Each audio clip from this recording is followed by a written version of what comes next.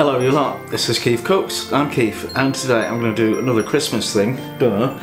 I'm going to make a quick and easy cheat Christmas pudding and also some brandy sauce to go with it. Yum!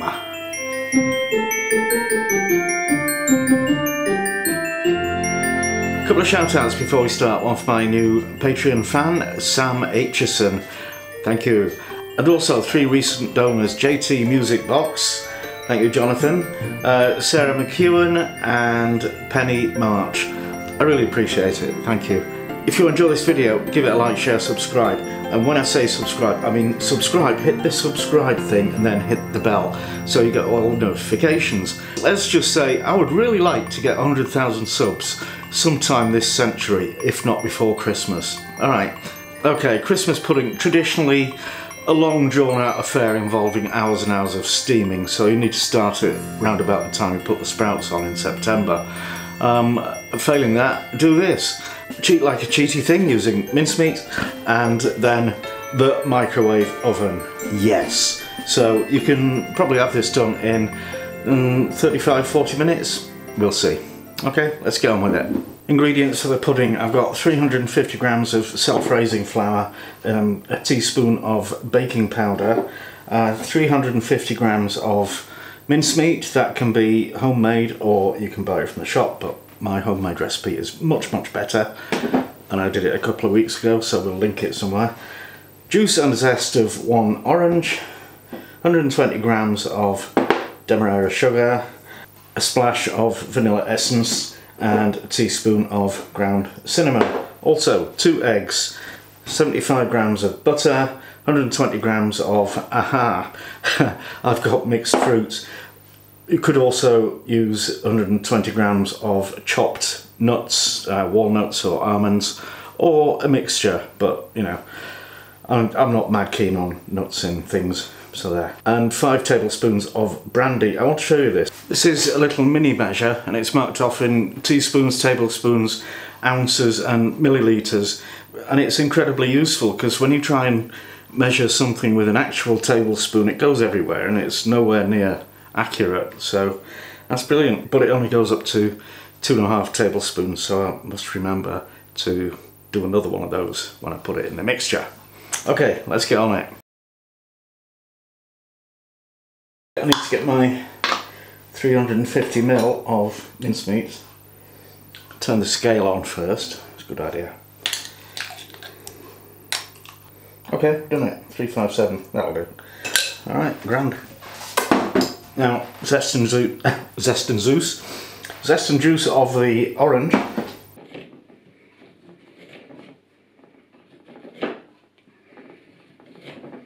Now we need to dejuice the orange.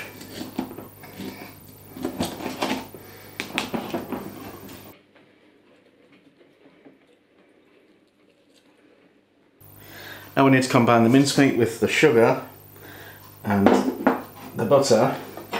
I'll just cut that into bits because it has to melt and it'll be easier to, to melt it if it starts off in bits. The zest of the orange and the juice. Okay, and the brandy. So, two and a half tablespoons.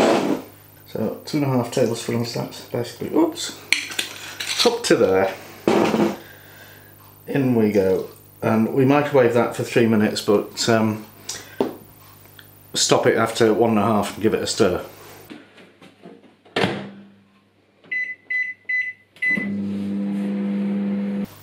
Okay, that's, well, butter not completely melted, but we'll just stir that, it will melt. Now we need to lightly beat the two eggs.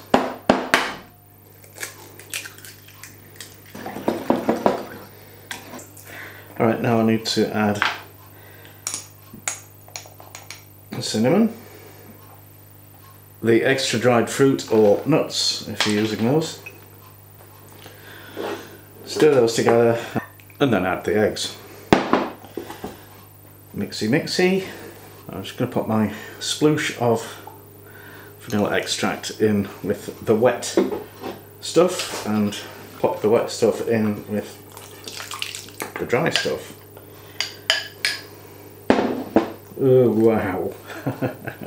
that smells magnificent. Okay, we'll get that mixed in, then mix in the other half and come back to it. And it's moments like this when the going gets tough that you uh, wish you had a machine that would do this for you. And then you remember that you do have such a machine, but it's too late to use it now. Ho hum. And I think I might have too much mixture actually, but uh, the plan is I'm going to make it in this glass bowl because it has to go in the microwave. I was going to use this sort of proper pudding basin shaped pudding basin, but it's metal, so I don't want to put it in the microwave. At this point, I must ask you a question. What is the difference between a buffalo and a bison? You can wash your hands in a bison. I'm going to butter the inside of the bowl and a lot of recipes say to put a disc of greaseproof paper in the bottom of the bowl. Um, they never say why, but so I don't know, but I'm doing it anyway. I think it's just to absolutely guarantee that the bottom won't stick. Alright, let's uh, fill it up with the mixture. Oh, we might, might be okay. Uh, I was pretty sure we'd have far too much. Now I'm going to pop the pud in the microwave for 8 minutes and then test it with the skewer to see if it's anywhere near done.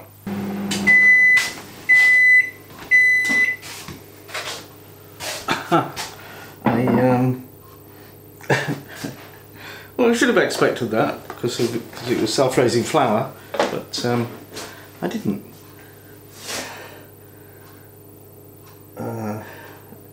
alright that's very wet and there was a massive blast of um, brandy, brandy and alcohol uh, and I was, just, I was just reading through the recipe I put a lot more brandy in than I should have done I put five tablespoons in it, it should have only been two.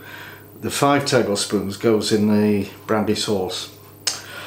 Ho hum. Right, uh, well I'll give that another, I don't know, four minutes.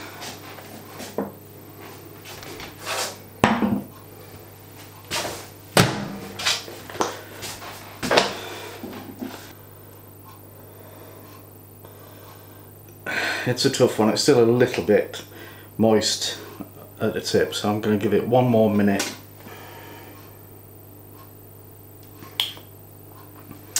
Okay that'll do. Now I'm just going to leave it in there for about 15 minutes before I try to get it out. And I might slice the top off flat.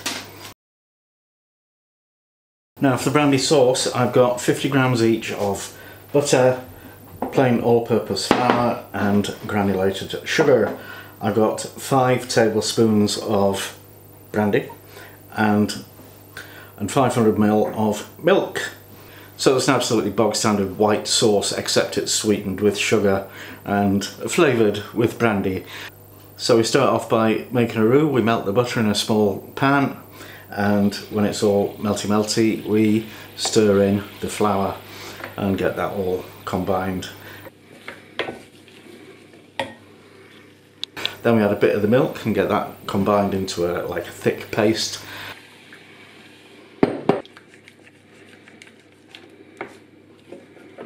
And then we add the rest of the milk and mix that.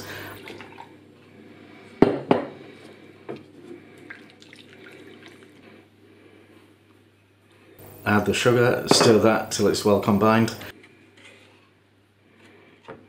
And then finally add the brandy and just let that bubble away for a few minutes and then if you're ready to use it use it straight away or keep it for another day Oh, that's still hot. okay, I'm gonna see if I can trim off the top. It seems to have stuck onto the plate.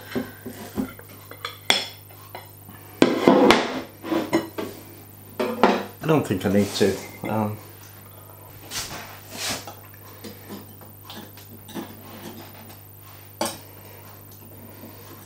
Alright, let's have a go. Woohoo! Ooh, look at that. It's uh, it's quite a bit paler than Christmas puddings normally are, but I don't think that's a problem. Yeah, alright, well, I guess we'll have to do a taste test. Oh, it's dark in here. so we're going to flame the pod with brandy and to do that you need to warm your brandy up otherwise it actually won't catch fire. I'll just stick that on the stove. Okay, my uh, brandy is pretty warm so I'm just going to very carefully pour it over the pud because we don't want to burn down the house on this auspicious day and I'm going to breathe fire on it.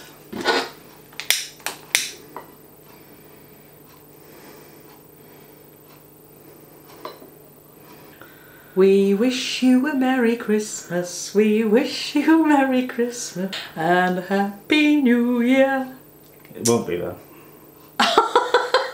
oh no. Oh no, what are you like? right, I'm gonna just see if I can. This might go all flamey way, mate. That'll be dead exciting. I know. Nearly. Yeah. Oh, it is. Go on, It's on fire, is it? carefully. Oh yeah. Oh yeah, look at that. Blue flame. Oh yeah. Any minute now the fire alarm's gonna go off. look at that. Ah well. Job done.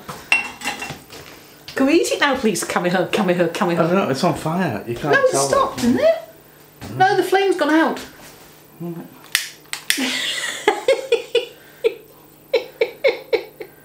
See on TV, they got special effects.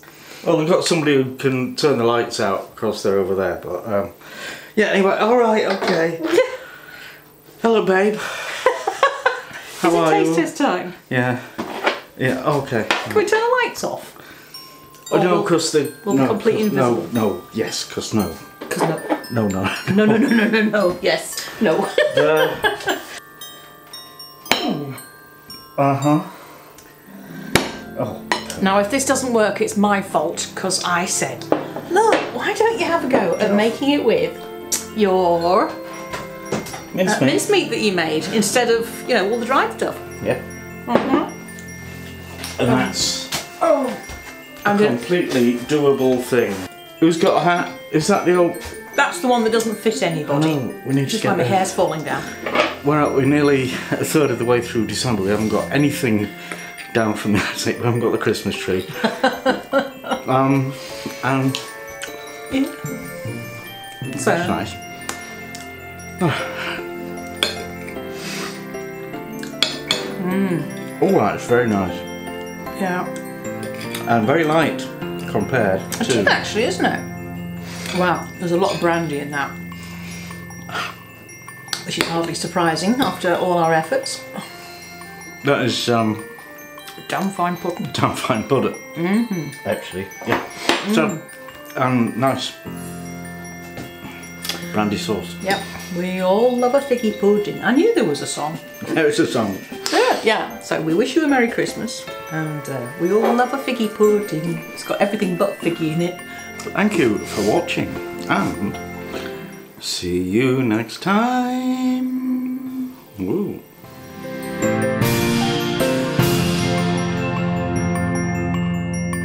That was most melodious. Wasn't that? Yeah.